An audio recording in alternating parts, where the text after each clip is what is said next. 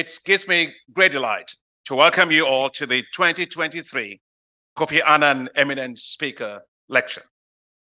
Every time that we hold this prestigious lecture, I have such warm memories of late Mr. Annan, the former UN Secretary General. He was such an incredible leader, a great mentor to me personally. His life was exemplary.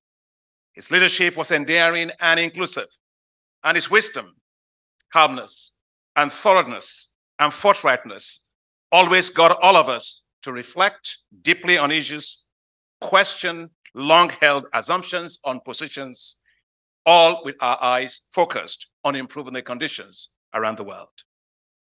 Whether it was the Sustainable Development Goals, global uh, security issues, conflicts, global pandemics, food insecurity, governance, his voice will always resonate. Now, one of Kofi Annan's quotes that is up for today that I like very much says, and I quote him, we need to create a world that is equitable, that is stable, a world where we bear in mind that the needs of others and not only what we need matters immediately. We are all in the same boat. And he went on to aptly put it one leak in the boat, and we all sink together. The challenges of our world today, from COVID 19 pandemic, climate change, rising debt, food insecurity, and conflicts, are keeping the lead on development globally. The global development boat is leaking. And the consequences will be devastating unless we seal the leaking areas. At the top of the leakage is climate change, which poses existential risks for the world. We must do all we can to keep global warming at no more than 1.5 degrees Celsius. We need innovations to power the world better with renewable energy. Another leakage there's too much hunger in the world. It is not acceptable that over 2.3 billion people in the world go to bed hungry every single day. God did not create stomachs to go empty, He created them to be filled. There must be a hunger free world. Another leakage inability to cope with global health pandemics. The COVID 19 pandemic has taught us how important it is to have global pandemic preparedness and to ensure no one is left behind in access to affordable health care. After all, all lives matter for the rich and for the poor. The United Nations Secretary General Antonio Guterres recently raised the alarm that the world is off course on meeting the Sustainable Development Goals, our SDGs, our collective agreement to shape a better world for all. A better world for 940 million people that are without electricity in the world. A better place for 3 billion people without clean cooking energy, the majority of those being women, with millions of the, and their children die due to inhaling smoke from just trying to cook a decent meal that we all take for granted. A better world for 2 billion people without access to clean water and 4.5 billion people without access to sanitation. A better world for 1.7 billion people without access to basic finance, credit, savings, payments, or insurance. A better world, I must say, for 240 million children that are out of school, including 129 million girls. Yet, this is all happening in the midst of stupendous wealth in the world. Total assets under management by institutional investors will soon reach 1.145 trillion US dollars. Inequalities are expanding rapidly. Oxfam International put out a press release on the 13th of January of this year with a screaming headline. The richest 1% bag nearly twice as much as wealth as the rest of the world put together over the past two years. Just think about that. They continued. They grabbed nearly two thirds of all new wealth worth $42 trillion created since 2020. The challenge facing the world is therefore not lack of resources. It is that the resources are highly concentrated in developed countries with few extremely rich around the world while the world's development boat is leaking. The international community has a critical role to play to change this. Yet, as Kofi Annan reminds us in one of his statements, and I quote, the international community allows nearly 3 billion people, almost half of all humanity, to subsist on $2 or less a day in a world of unprecedented wealth. In Africa, development financing needs are huge and widening. The African Development Bank estimates that Africa needs a financing gap of $1.2 trillion through 2030 to finance the SDGs and to adapt to climate change. For example, the financing requirements for Africa's nationally determined contributions under the Paris Climate Agreement are estimated at $277 billion dollars annually through 2030. Current flows of climate finance to Africa fall way short of that, at just $30 billion in 2019 and 2020. Much of the available climate finance is concentrated in a few developed countries, and very little is available in support of climate adaptation, which is, of course, Africa's most serious challenge. There is no doubt, therefore, that the global financial architecture is failing development in the world as it faces multiple global challenges. The global financial architecture needs to be reformed and transformed to tackle more effectively global challenges and to accelerate the achievement of sustainable development goals.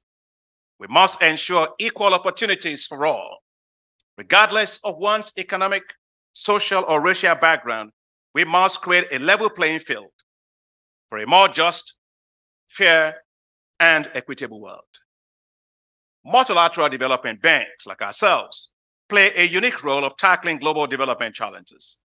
By their nature, they are positioned to respond to global economic shocks, finance the needs of sustainable development goals, address rising fragility, and mobilize financing required to address climate change. It is estimated that the new global challenges will require a tripling of financing for multilateral development banks and a doubling of, multi, uh, of bilateral aid, a significant increase in concessional lending, and a massive increase, in particular, in inflows of private capital. The clarion call is from billions of dollars to trillions of dollars.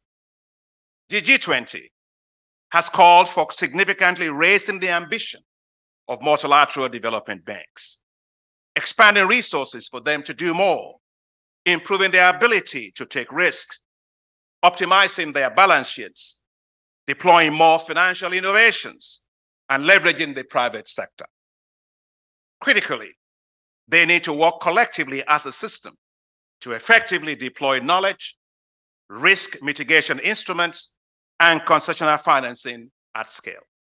And that's why we have selected the theme of the 2023 Kofi A. Annan Eminent Speaker Lecture to be the changing global financial architecture, implications for multilateral development banks post COVID 19. This topic is timely, and this lecture comes just a week after the World Bank IMF annual meetings in Marrakesh, Morocco, the first time in 50 years since the two global financial institutions held their annual meetings on the continent. A month ago, also, the discourse on the global development finance and architecture was at the heart of our discussions at the United Nations General Assembly in New York. There is, ladies and gentlemen, no better person to speak on this issue than our eminent speaker today, Dr. Jim Yong Kim. Dr. Kim is a globally respected leader. He served as the 12th president of the World Bank Group from 2012 to 2019. He is currently the vice chairman and partner at the Global Infrastructure Partners, a fund that invests across the world in infrastructure. As president of the World Bank Group, Dr. Kim embarked on major reforms and shaped and reshaped, I must say, the vision of the bank to focus on two critical issues ending extreme poverty and achieving shared prosperity.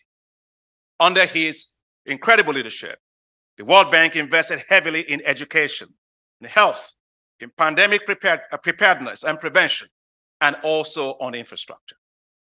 Dr. Kim served as the president of the Dartmouth College, United States of America, as professor in public health at Harvard University. And he was earlier a director at the World Health Organization. He co founded what's called the Partners in Health, an NGO dedicated to health. He's well known for his pioneering work on the treatment of HIV/AIDS, what they call the 3 by 5 initiative, which was acclaimed for being the first effort to globally tackle HIV/AIDS. Beyond his global leadership and expertise, Dr. Kim is a great friend of Africa. As president of the World Bank, he prioritized Africa. Jim, of course, is a personal friend of mine. He and I traveled together, wish we had the photos to show for it, uh, to Ghana, and we dressed, I think, my law, you were there then at that time in Ghana. We, we dressed in kente dress as, as, as twin brothers uh, when we went to Ghana. Uh, uh, then was President John Mahama was president of Ghana. Jim epitomizes how multilateral development banks should work together. When I was seeking for general capital increase of the bank, uh, we traveled all the way to uh, Korea for that meeting, and I needed to get some support. Uh, Jim was president of the World Bank Group, got on a plane, and traveled all the way from, flew all the way from Washington to Korea. He came to, Korea, Busan. He addressed all the shareholders. He made a very passionate case for the African Development Bank to get a, a, a general capital increase. And he said, well, Akin is actually doing quite a lot of reforms, more than I was doing at the African uh, at the World Bank. So you should give him more money. And of course, I was quite delighted. Uh, he finished the meeting, he got on his plane, and he flew right back to uh, Washington.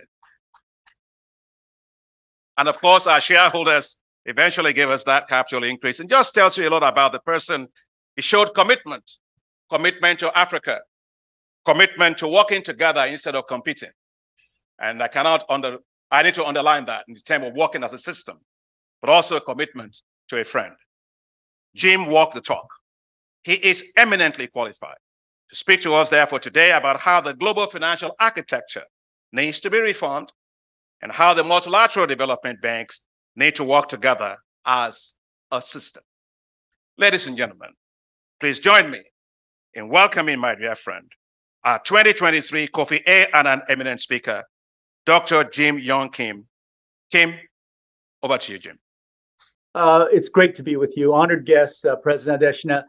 Uh, I'm just in, incredibly honored uh, to have been asked to give this lecture series uh, that honors uh, Kofi Annan.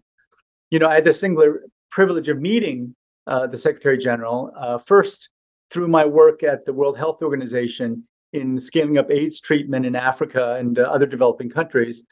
But then later, uh, after he retired, I was able to spend some quieter moments with him. You know, I've always thought that that the Secretary General's role in bringing AIDS treatment to Africa has been woefully underappreciated. You know, it's even uh, these days, uh, 20 years later, President George W. Bush is finally getting the kind of uh, acknowledgement that he deserves uh, with this presidential initiative. Uh, but I rarely hear about just how critical the Secretary General's role was, uh, especially in getting the Global Fund to fight AIDS, TB, and malaria started. It was the Secretary General Kofi Annan who who made that happen.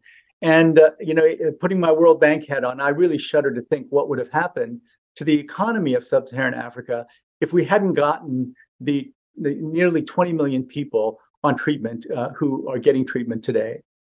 You know, my mother uh, was a scholar of Confucianism. She was a philosopher and studied Confucianism. And uh, Secretary General uh, Annan always reminded me of the great Confucian sages that she would tell me about kind, compassionate, and wise beyond measure. Also, I want to thank uh, my good friend uh, Akin for those wonderful, kind words. You know, it was really uh, uh, uh such a breath of fresh air when he took over uh, as president of the African Development Bank. we began working very closely together right away. And I'll never forget the very first panel I ever served on. I think Akin was at the uh, at the United Nations, and he started with just such a wonderful story. He told about the very first time he went to the United States. He landed in the wonderful town of West Lafayette, uh, Indiana, uh, the home of the great Purdue University, one of the greatest uh, uh engineering uh, schools in the country. And uh, he rented a room from a professor. And every night, he diligently ironed his shirts and ironed all his other clothes and, and did it very early uh, and sometimes uh, even before he had dinner. So the matriarch of the household uh, one day, and this is the story. Akin was telling the story uh, to, to, to the group. Uh, one day, the matriarch of the family asked him, Akin, why, why are you so um, diligent about every day coming home and ironing your shirts? And he said, Well, I want to get them ironed before the electricity goes out.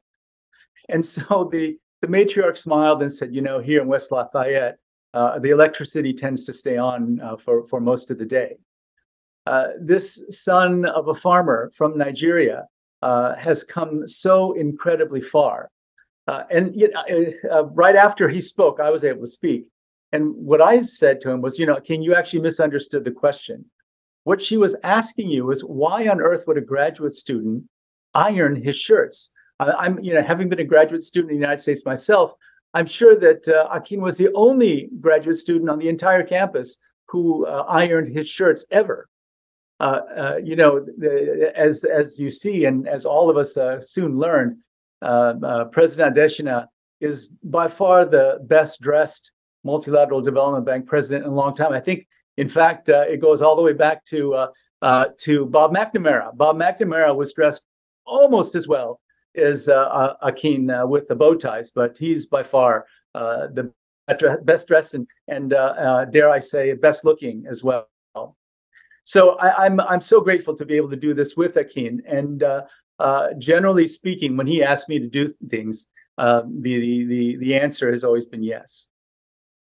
You know, um, when we were working together, one of the goals that we shared was the, the commitment to ending extreme poverty by 2030. And when I left the World Bank in 2019, we were making slow but really steady progress toward that goal. But of course, COVID, which I think we can now say was the worst disaster of the last century, uh, actually has put that goal probably out of reach. Uh, global GDP shrank by 4.3% in 2020. 70 million more people uh, were pushed into extreme poverty, an increase of, uh, of more than 11%. Now, just to give some perspective, uh, the spike in poverty was four times greater than the spike in poverty after the Asian financial crisis. But beyond the effects on mortality, economic growth, on uh, poverty, the impact on human beings, the impact on our reserve of, of human capital has just been devastating. Many of you may know that uh, in my last years at the bank, we started something called the Human Capital Project. By human capital, we mean simply the health, skills, knowledge, and experience that people accumulate over their lifetime. Uh, human capital has intrinsic value, but it also makes people more productive. It makes economies grow more quickly. It's basically wealth embodied in people. And for many of the poorest, it's the only wealth they have. Human capital accumulation is both sequential and cumulative. One stage builds on the previous stage, uh, and you have to invest in human capital over the entire life course. The most critical period of uh, human capital accumulation, of course, is when people are young. We started the uh, Human Capital Project uh, first to understand uh, what is the contribution of improvements in human capital to economic growth. And what we found, and it shouldn't surprise anyone, is that uh, human capital is one of the principal drivers of economic growth in developing countries. We then went on to quantify how countries were doing in building human capital so that we could compare them to one another. Now, you know, um, uh, comparisons and rankings are always controversial, but people pay attention. And the local press picks up on rankings uh, because they like to compare themselves to, to neighboring countries. So we started off our human capital index with, with very simple measures. Uh, uh one was on education that focused on both quality and quantity. We called it learning adjusted years of schooling. Another uh, indicator was childhood stunting. Another was uh, childhood under five mortality. And then finally, uh, we looked at adult mortality. The first index was published in 2018, uh, the second in 2020. And because of COVID, uh, the next index has not come out yet, but it's still a very active, ongoing project at the World Bank Group. And I suspect that there's work on the Human Capital Index and the uh, Human Capital Project in other uh, multilateral development banks as well. Uh, did it work?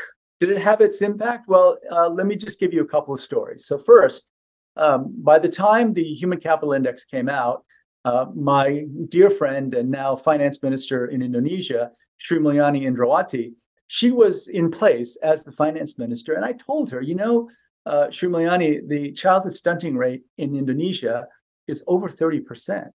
She was shocked. Uh, of course, uh, you know, having worked at the World Bank and being such a brilliant person, she knew very well the implications of having a stunting rate over 30%.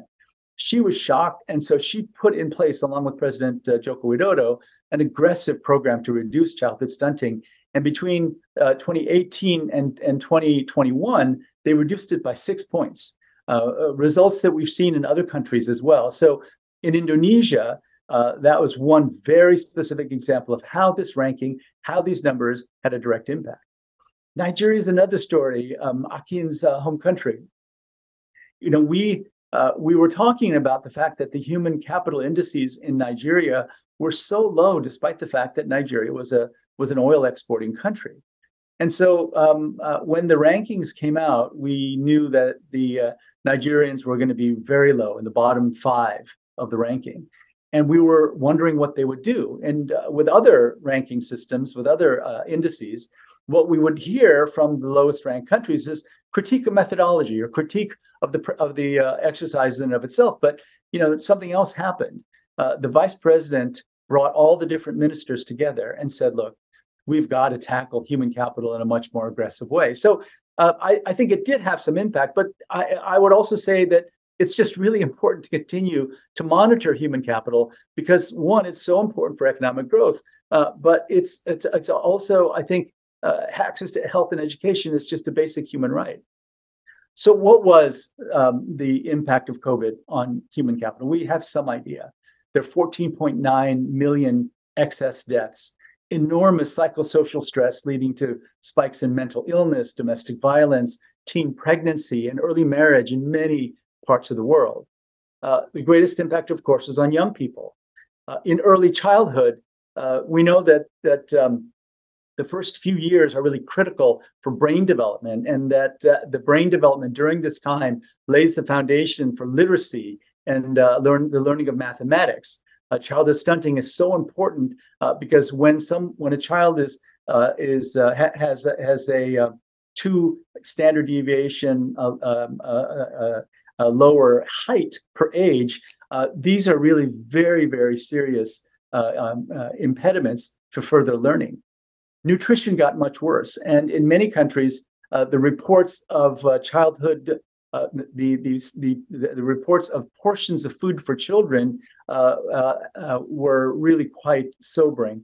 Uh, in Sierra Leone, 68% of children had smaller portions of food. In Kenya, 69% had smaller portions of food. And in Bangladesh, tragically, 100% of the children had smaller portions of food.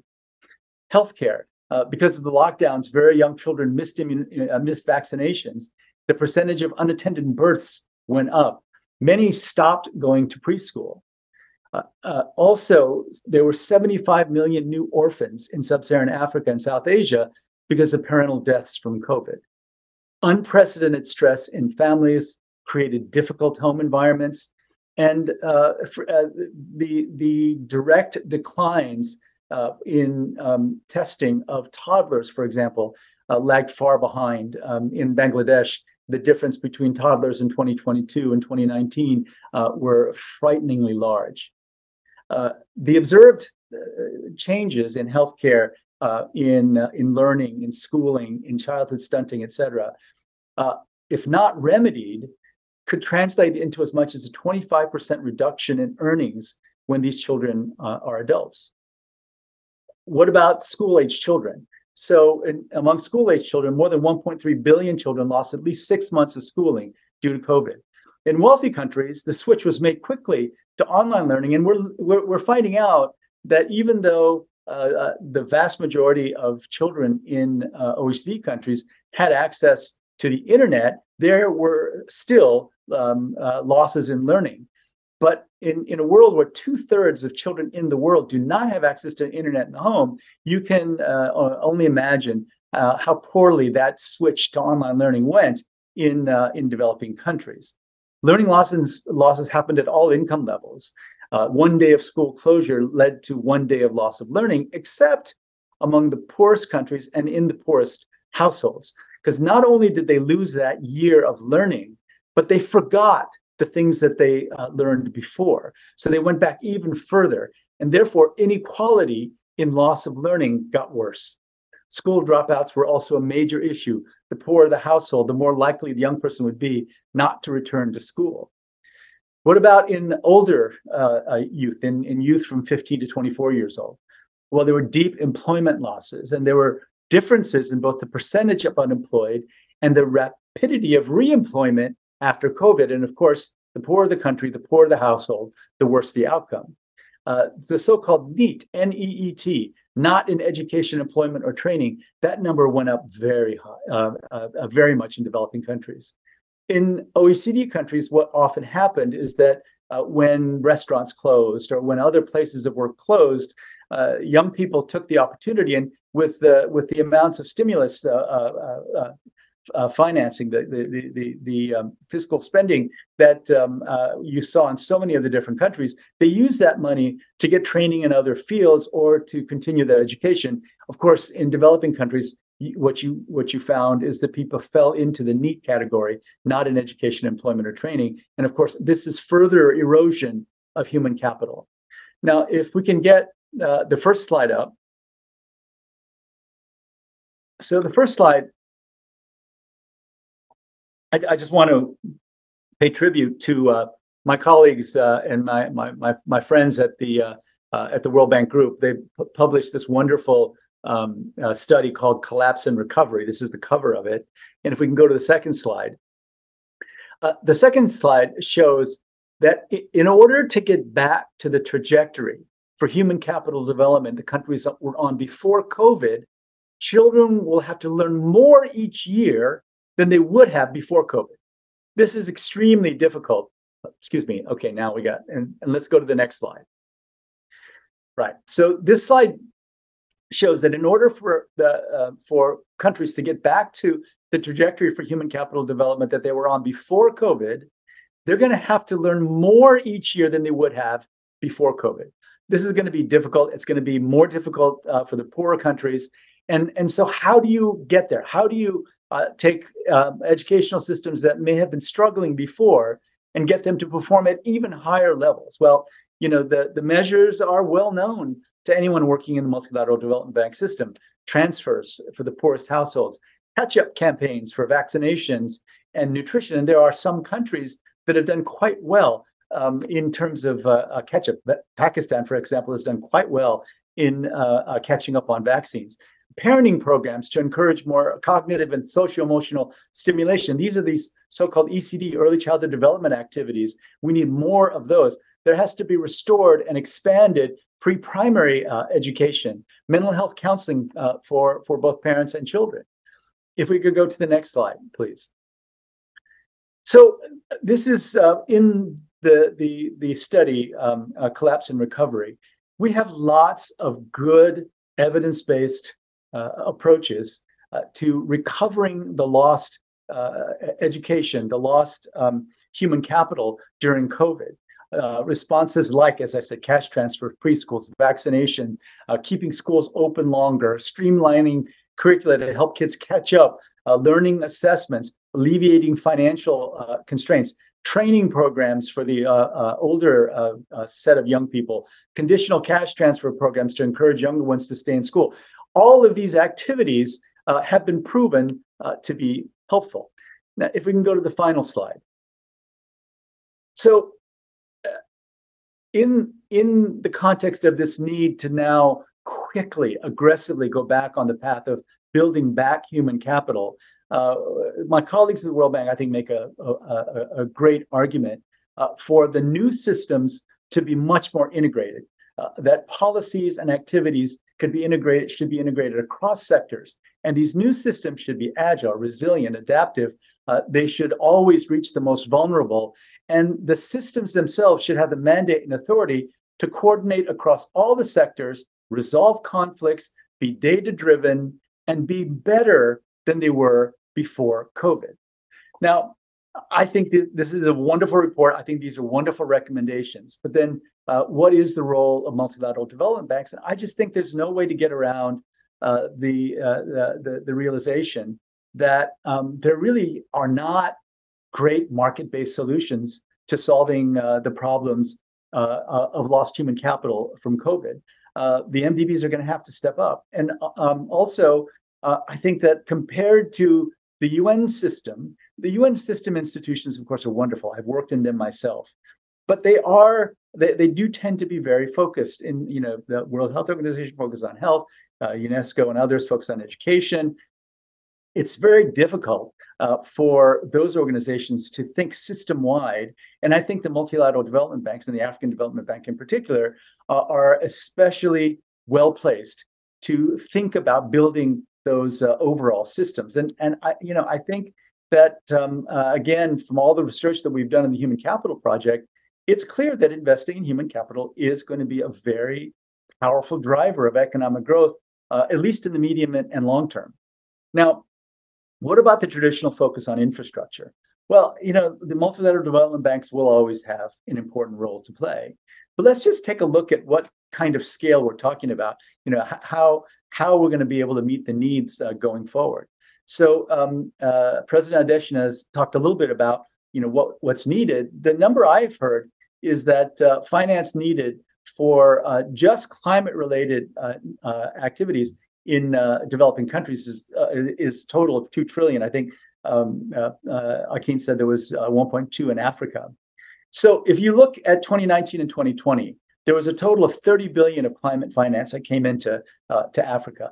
And of that, only 4 billion came from the private sector. Now we know, we know, we know, we know that we have to have much more of uh, financing coming from the private sector flowing into Africa. But starting at 30 billion, when much more is needed, and then only 4 billion of that coming from the private sector, uh, what are the prospects of uh, reaching the levels that we need to reach?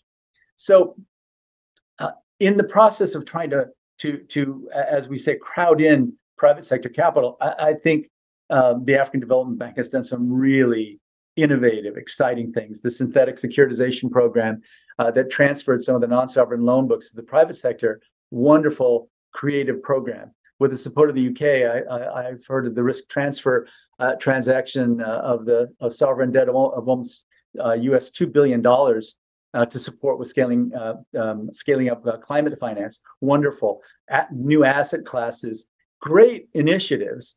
And um, you know, maybe I, I, I thought I would just take the final few minutes of of my talk to kind of report back. So you know, I'm a multilateral development bank person. I I, I, I you know, grew up in some very significant ways in that system. So um, uh, some of you may know I've also I also have a PhD in anthropology. So let me just give you maybe an anthropologist's report of what I found now being out in the private sector, uh, trying to bring that money into our particular fund. My my fund inside the company I work with is an emerging market infrastructure fund. Uh, the group I work for uh, is Global Infrastructure Partners, and it's uh, it was founded by um, a countryman, fellow countryman of uh, of uh, uh, a gentleman by the name of Adebayo uh, Ogunlesi. Probably the most brilliant human being I've ever met. He built this company from nothing, over 100 billion in assets under management. And uh, the original idea behind the fund was to invest to, to a great extent in uh, uh, emerging markets.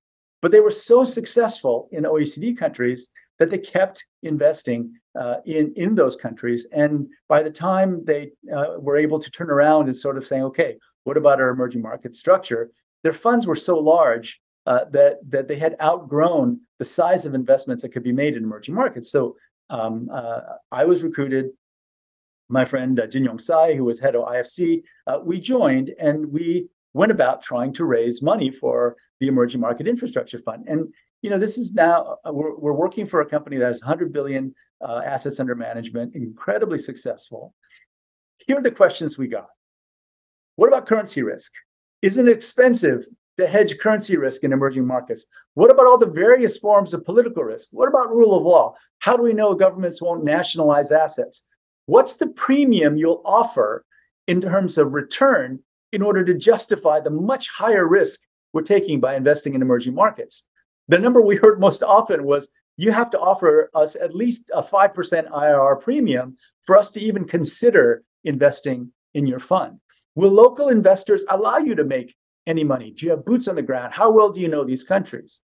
So um, uh, what what we learned was that it's difficult, and it's been it's been uh, um, uh, I'd say a little bit unsettling and and discouraging to see how many uh, misconceptions there are about the situation uh, in developing countries. And so, uh, you know, we learned some really hard lessons. For example, uh, when I was at the World Bank, we had many meetings on impact investing, and I was told by various people, "Oh, there are trillions of dollars waiting uh, uh, for for opportunities to do impact investing." I can tell you, at the level of the CIO, the Chief Investment Officer, and below, where allocation decisions are made, there's there's tremendous amount of skepticism about impact investing. And lest you think that this skepticism is coming from just from hard-hearted billionaire bankers, uh, most of the negative responses came from uh, really public employees who ran these pension funds. And what they told me was this: they said, "Look, uh, we understand what you're saying. We understand um, uh, your passion. You, we understand why impact investing is important, but we cannot take the chance of uh, failing to build the pension plans of teachers, uh, police, firefighters, in order uh, to invest in some unproven notion of impact uh, for people in, in a far off land. This is this is what we this is what we've been hearing uh, all too frequently. But look, there's also great news. There are wonderful opportunities.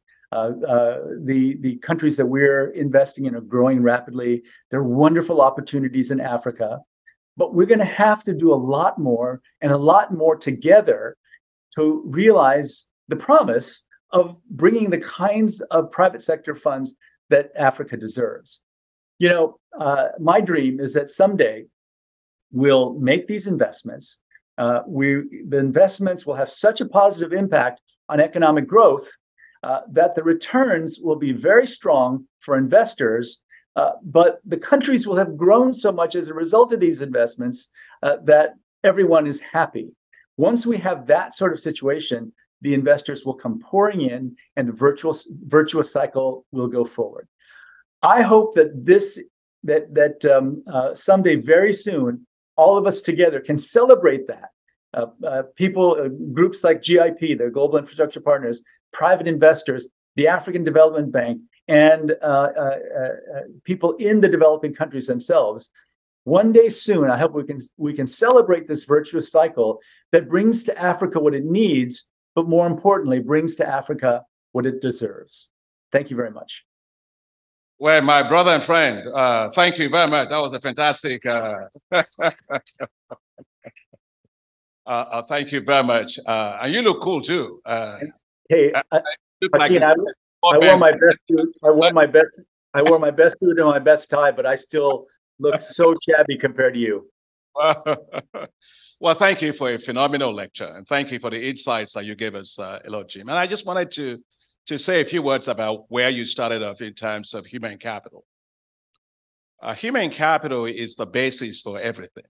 Um, otherwise, we will all not be here. Uh, education matters, skills matters, uh, institutions matter, and how we finance education um, is a big it's a big issue. And and the point that you raised about a lot of kids that you know came out of school or fell out of school because of COVID, it's an issue that we have to recreate again, get kids back into school, and also make sure they have fantastic um, uh, infrastructure to to support learning. And when one thinks about education, one of the things that I think about is you know, how do we better link that education to the skills of the marketplace? You know, we've got today um, 477 million young people that are between the age of age of 15 and and and, and 35. Um, and in Africa today, we have a challenge in terms of a third of those are not employed, a third of those are un- underemployed, and a third of them are simply mad with governments. Okay, so I think that issue of yes, we invest in education, but also we've got to invest to make sure that we reduce the skills mismatch between what the educational systems produce and what the needs of the labor markets uh, actually have. And the second one, of course, is that we often emphasize, and perhaps way too much, uh, just formal education uh, in, in the sense of going to um, uh, universities and all of that.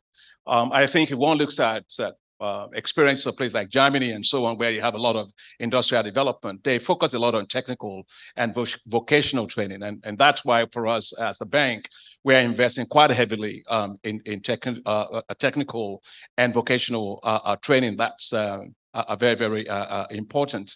Um, and just to tell you also that I think we need to also make sure that we create financial facilities that support young people. Um, they've gone to school, they come out of school, um, but where are they going to get the capital to set up their businesses? You know, and and and sometimes I feel I feel that young people go to technical vocational education, they finish all of that. At the end of it, they come out and so what?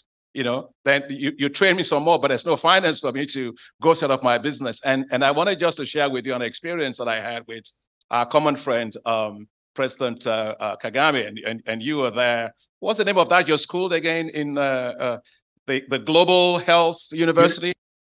University of Global Health Equity. Yeah, and, and, and many of you may not know, University of Global Health Equity is, is the chancellor of that university. It's based in, uh, in Kigali. And he was telling me earlier this morning, uh, this afternoon, when we're talking that in the in the rankings that he gave, I think it came fifth. I think is it is it global? Uh, whatever it was one of it. The, eight. Yeah, the London Times higher education ranking it came out eighth, 117. Steps go work to do, Chancellor. So, uh, but but I wanted to tell you about an important point of this issue of financing for young people. Um, President Kagame told me that um, we haven't we supported something in Kigali called the Kigali Institute of Science and Technology. And I went to see him, and, and this is a program where we put in $40 million. They have scholarships, they support kids to, I mean, uh, students to go to school. And then one day he said he was jogging um, at about 8.30 at night uh, in Kigali, and there was a young lady jog- jogging the opposite direction and wanted to say, hi, Mr. President. And of course, they pushed her uh, aside. And she said, no, no, no, Mr. President, you sent me to the Kigali Institute of Science and Technology uh, which is a program that we have. I think with, with Carnegie Mellon. I think we, it's a joint program. Yeah. yeah. And I want to tell you what I'm doing now, what I want to plan to do. And he said, okay, bring her. And uh, she came, uh, uh you know, along and uh, he then asked her to come to the state house and went to state house. And he said he gave her a little bit of money, uh, so small amount of money just to encourage her. And that's okay. And, and she went. And she said, I never saw her again for more than two and a half years. And after that, she came back one day and, and called and they let her into the state house, want to see the president. Said, Mr. President, the business that you supported me to do just about three years ago, I just sold it. I developed it and I sold it uh, for $21 million. And she's 27 years old. And of course, I told President Kagame, please, can you please tell all African heads of state to jog at 8.30 at night and make sure that he invests in health, in education for, for young people. So really your point there is really fantastic. I also want to uh, emphasize what you said about malnutrition with a practical example.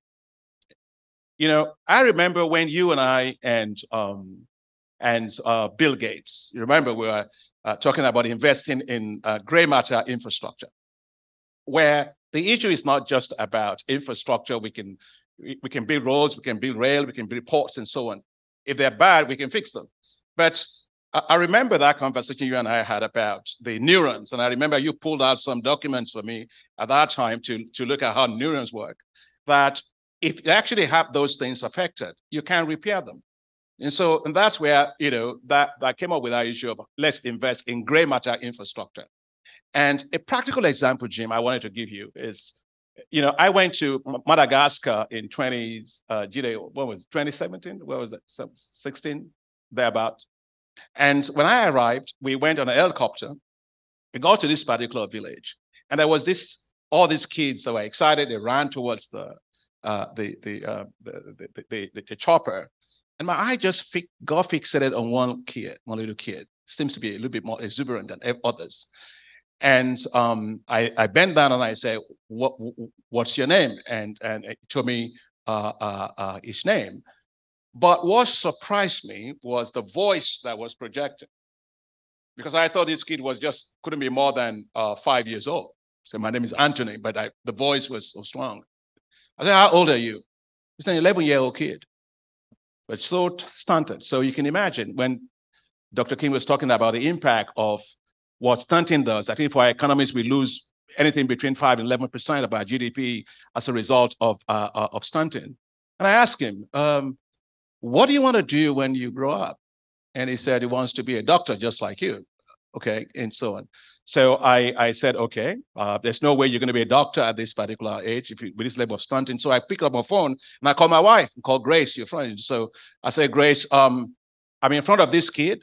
This kid is stunted, severely stunted. And there's just no way this kid can be anything with this level of stunting that you have. You are giving the statistics about what was done in Indonesia and all of that. And I said, Can we adopt this kid? And of course, the line went dead. And I said, honey, are you there?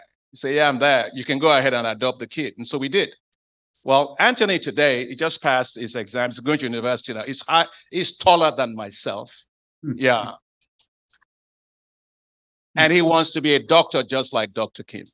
I'm just trying to say that about the importance of what you raised in making sure that we get resources, not just for education, but very early, you know, education. And one thing I also say is about girls you and I, well, you know very well the, the, the point about early, early marriages and how that affects girls in school. I think so. Those are points that I, I just want to say. And and two points I made before we open it up. Um, you talked about the um, issue of the uh, the COVID, and Dr. Kim is so right because I think the COVID situation, as is very well explained, it created divergences between developed countries and developing countries, and we're still coping with that uh, even, even today. And of course, for us in Africa, Jim, we still have a tapering effect of about $435 billion a year that we need to cope with all those effects that, that, that you were talking about. Then on top of that, now we got climate change. On top of that, now we got conflict, we got inflation, we got debt, we got all those things. Like when it rains, it just it just pours. And so all the more reason why the global financial architecture needs to deliver a lot more financing for for Africa, uh, concessional financing, a lot to deal with issues of debt, issues of climate, issues of health, all those things that you um, uh, very well uh, uh, uh mentioned in your uh, in your point. And the last thing I just wanted to say is um, the issue of getting private sector in. Um, you're spot on because, as I said in my opening remarks, um, Africa has about, let's say, $2 trillion of assets under management globally, we still have about close to $145 trillion of those assets under management. But when we say we want to attract that, I think a number of things you're clear, clearly right needs to be done right. First is where are the projects? Uh, which projects are we going to be financing? So a lot needs to be done in developing bankable projects. And you're working in infrastructure firms, so so that's important. Second is the risk. You know, and I always feel that risk, in most cases, sometimes it's like um, people stand out there and they make perceptions of risk elsewhere that they don't understand, right? And you cannot really assess things unless you actually have an understanding of that market. Um, and, and, and, and I remember when I was learning how to swim and, and uh, uh, uh, you know, they told me that the, the end of the pool was the most risky part and that I was going to sink. I was so scared. But when I went to the deep end of the pool, Jim, I found out it was the the easiest part of the pool was the, the deep end of the pool. So if you know your, your neighborhood, I don't think you'll be so scared uh, uh, of, of, risk. And um, I think the talking of data, look at we did something. I think it was Moody's Analytics that we asked to look at the, the, the risk of default on infrastructure financing globally. And Africa has the lowest level of default globally, right? So I'm making that because I think there's a difference between the real risks there's also the difference between the passive risk. I think the passive risk for Africa is high. And as a result, Africa pays today about 700 basis point higher in terms of what you call the Africa premium, in terms of being able to uh, to, to generate more financing. But anyway, thank you very much, uh, uh, uh my, my, friend, uh, for those very stimulating uh, points that you raised. And I think that your point on multilateral development bank, yes, we have to work better as a system. We have to make sure we deploy our capital better. Um, and we need more capital, um, but I would say we need more also callable capital, but paid in capital because you need risk capital to be able to leverage a lot of the private capital that you were talking about. So thank you very much, uh, Dr. Jim. Thank you. Thank you. Thank you. Thank you, uh, Mr. President, for that. Uh, the next question is for Dr. Kim, but I've got to say earlier on we had how Dr. Kim, as the president of the World Bank Group, flew to Busan in Korea to join the African Development Bank Group's annual meetings. And at that time, this is what Dr. Kim said. Um, I want you to know that there's no way we are going to achieve what Africa deserves without a stronger African Development Bank, the continent that deserves so much and deserves precisely what a bigger, better, more efficient, more effective African Development Bank can deliver. In 2019, that came to pass with an increase in the uh, in, in, the capital increase of the bank. So the question here is, uh, Dr. Kim, the bank is preparing to celebrate its 60th anniversary next year, is Diamond Jubilee. What's your advice as to where the bank should be in the next decade?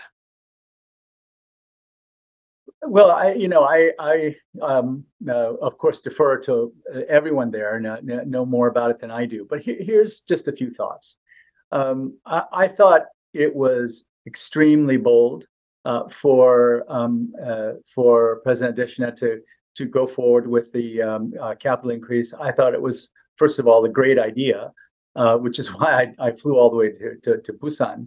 but also, I went there um, and and although you know it was the board, it was not it was not necessarily Korea, but I wanted to, in the country of my birth, go there and give a personal testimony to the great faith that I had in him as an individual and the African Development Bank as an institution. I think the African Development Bank needs even more capital, right? So as I'm as I'm out there looking at sort of the various instruments in the world that are trying to tackle things like loss of human capital um, as a result of, uh, of COVID and the infrastructure deficit uh, in, uh, in, in Africa. You know, the lack of uh, energy uh, in uh, in Africa still. There is no better bargain for the world than to invest in the multilateral development banks. I mean, you know, the the um, the, the, the formula is really very simple, and and you know the way that we educated um, our constituents when we were going for the for the uh, uh, capital increase at the World the World Bank was look for every billion dollars of uh, paid in capital, uh, the bank can can lend a billion dollars each year uh, with long tenors and low interest rates. This is the best bargain that you can possibly have, and I think it's really critical for multilateral development banks to not be shy about um, uh, teaching the world that of all the things you can put your money into, putting a billion dollars into an MDB will let you uh, uh, multiply the impact of that billion dollars over and over and over again. So I think first of all, just you know, be even bolder than before, right? Um, I, I think the next question is: so how do you work closely with the private sector? How do you use these innovative tools to to crowd in uh, capital? So, you know, let, let, me just give you a couple examples. So um, we uh, started working on things like project preparation facilities, right? And the project preparation facilities, uh, it, it, you know, people say, well, you know, you need you need bankable projects, so let's create a project preparation facility that's a group of people that work at the multilateral development banks. But the thing is, the kind of project preparation that's done by people who are not professional investors who are doing this all the time is not the same as what we do inside Global Infrastructure Partners. I, I have to tell you, you know, um, among the most, um, uh, uh, uh, what's the right word? Uh, uh, uh, among the most intense, the most intellectually challenging, the most stimulating meetings I go to are our investment committee meetings the kinds of questions that are asked are so incredibly difficult. I mean, we usually start off with a question.